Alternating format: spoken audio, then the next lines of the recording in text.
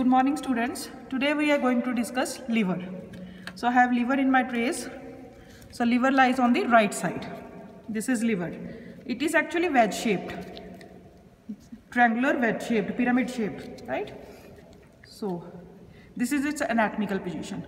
I will tell you why this is this is of right side. So you have to hold it in the towards the right side. The exact position I will tell you how to hold. We put a finger in the this inferior vena cava to hold this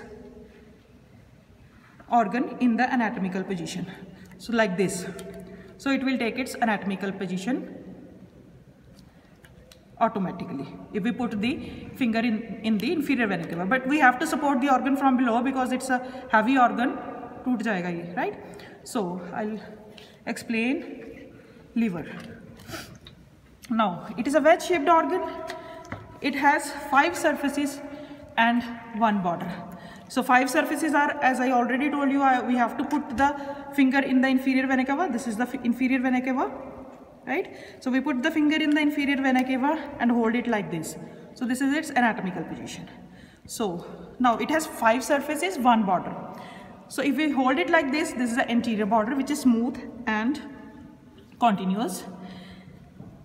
This one is the posterior surface up to this. This one is the inferior surface, right? So posterior and inferior surface somewhat they lie in the same plane. So till there, this is a posterior border, not exactly the same plane, but it is not smooth as of anterior surface. So we differentiate the posterior, posterior surface and inferior surface like they are not smooth, they are not in same line. So this is a posterior surface. This one is the inferior surface, right? We have fossa for gallbladder. This is the gallbladder lying in the inferior surface. So the main, this is uh, more visible gallbladder on the surface, inferior surface. So inferior surface has gallbladder. So this is inferior surface. This one is posterior surface. This is anterior surface. This is superior surface. And this one is the right lateral surface. So we have five surfaces. I will explain on this one is better than this specimen. So five surfaces, superior surface, anterior surface, right lateral surface. Now posteriorly we have posterior surface and below we have inferior surface. So it has one border which is very sharp which is inferior border. This one is a sharp border, sharpest of all border. This is inferior border. So inferior border separates the anterior surface from the inferior surface or the inferior surface from the right lateral surface. So this is the only border prominent one. This is inferior border. It has two notches, one for the ligamentum teres, notch for ligamentum teres and one is for cystic notch which is the notch for gallbladder. Right? Now, let, let's explain the surfaces one by one. Now, first we come to the anterior surface. This is the ligamentum teres. This one is the falciform ligament. That is, these are the folds of peritoneum actually. Falciform ligament divides it into two lobes. The largest one is the right lobe. Towards the left side, it is the left lobe. So, the falciform ligament divides the anterior surface into right lobe and the left lobe. So, this is anterior surface and it is finished. Right? Now, come to the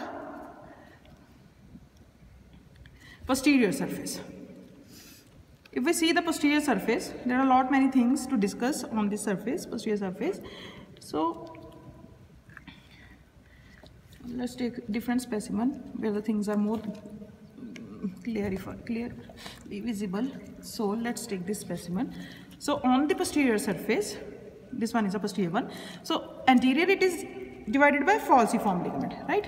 So towards the right and left side, we have the right and left coronary ligament. These are, this is the right coronary ligament, right triangular or left triangular ligament. So it has two layers, superior, superior layer of coronary ligament and inferior layer of coronary ligament. They, they join to form the right triangular ligament. Towards this side, we have left triangular ligament, right? Now, on the posterior side, we have two lobes.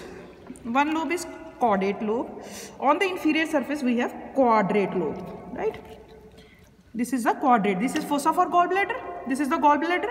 This is fossa for gallbladder. This is quadrate lobe. This is caudate. C1 caudate is in the posterior lobe and quadrate lobe is on the inferior side. right now let's mention the boundaries of the caudate lobe so caudate lobe is bounded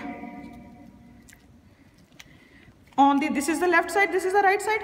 Because I have shown you from the back if we see in the anatomical position so this one is the right side this one is the left side. This is its anatomical position. Right side so this is the right side this is the left side. So right side we have inferior vena cava right?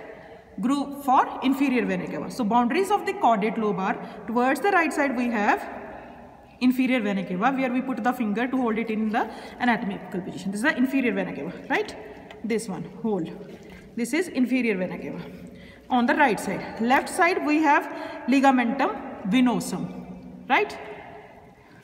And below it is guarded by the, this is porta hepatis right? So this is porta hepatis we have already mentioned during the histology of the liquid structures of the porta hepatis portal vein hepatic artery and bile duct right? So this is porta hepatis below so the boundary is complete of the quadrate lobe. Now we come to the quadrate lobe. Quadrate lies below on the inferior surface. So inferior surface same above below is the anti inferior border sharpened and uh, sharpened inferior border above is the porta hepatis Towards the right side lies the gallbladder or fossa for gallbladder. Towards the right side, uh, towards the left side we have ligamentum teres. Right? Now, now this caudate lobe communicates with this the remaining of the lobe posterior lobe via caudate process. So this projection is called caudate process and this elevation is called papillary process of the caudate lobe, right?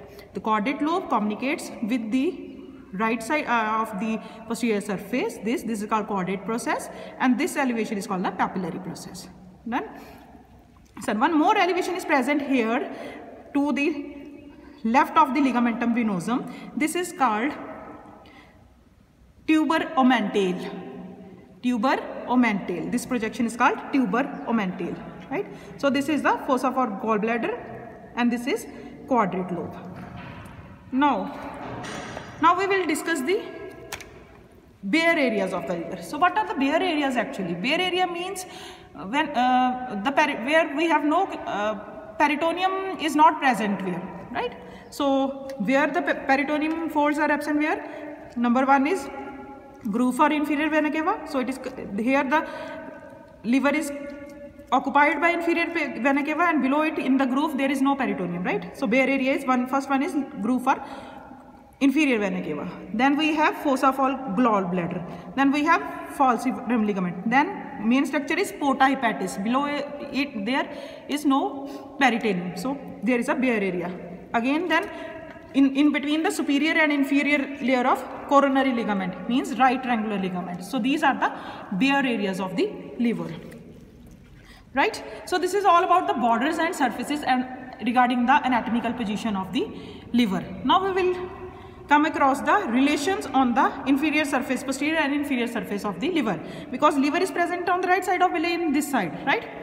Towards the right side. So anteriorly it has no organs. We it, This is covered partly covered by the diaphragm and rib cage. Above we have a diaphragm, here we have a rib cage, right? So posteriorly there are the different organs present beneath the liver. So what are these organs?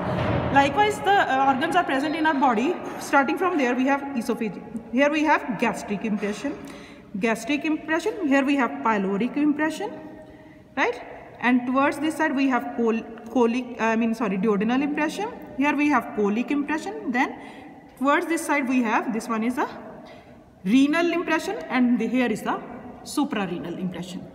So look carefully, a small esophageal impression, then we have gastric impression, then we have duodenal impression. Here we have colon, transverse colon colic impression, right? Then we have renal impression here and suprarenal impressions. So these are all the impressions on present on the inferior surface of the liver. So thank you very much student. This is all about the anatomical position, its border surfaces, bare areas and impressions of the liver. Thank you very much.